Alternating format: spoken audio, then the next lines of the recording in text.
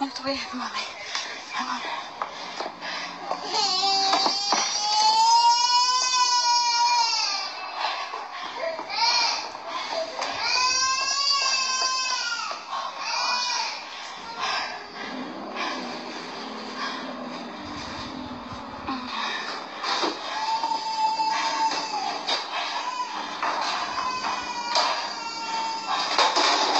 I thought you just said you put everything in bags for me.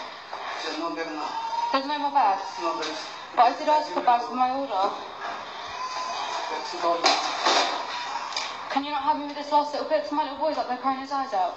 so much can. You'd rather not? But this is your job. No job. Only lift.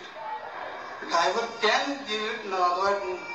My, can you not hear my little boy crying his eyes out because he doesn't know where his mouth's See, before you are taking polling, little much.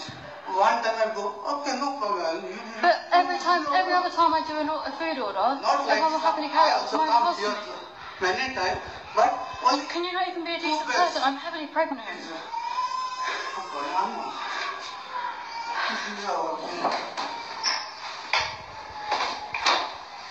I'm just gonna walk off and leave me with this now.